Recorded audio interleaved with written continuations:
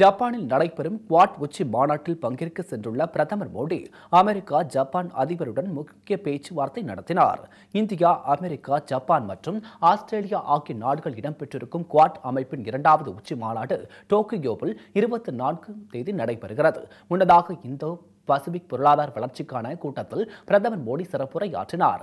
அப்போது இந்திய பசிபிக் நாடுகள் அளவில் பொருளாதார முன்னேற்றம் ஏற்பட அனைவரும் பாடுபட வேண்டும் என்றும் இதற்கு இந்தியா துணை நிற்கும் என்றும் தெரிவித்தார்.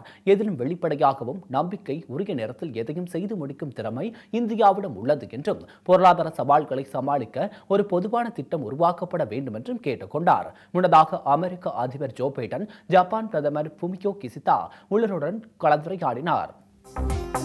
Thank you.